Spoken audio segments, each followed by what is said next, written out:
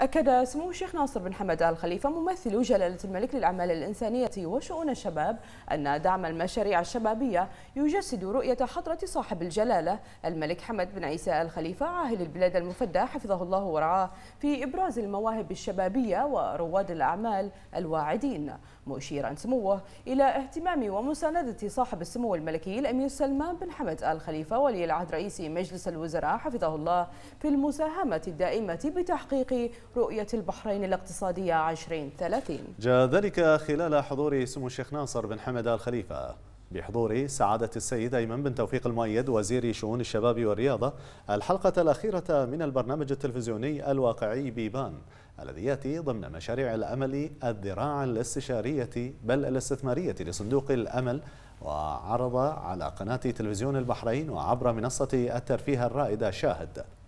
وقال سمو الشيخ ناصر إن رؤية مشاريع الأمل تتوافق مع الرؤية الملكية لحضرة صاحب الجلالة الملك المفدى حفظه الله في دعم ابتكارات ومواهب الشباب في مختلف المجالات حيث أننا حريصون على دعمهم ومتابعتهم مشاريعهم لترى النور خصوصا أنها بوابة للمساهمة في تحقيق الرؤية الاقتصادية للمملكة.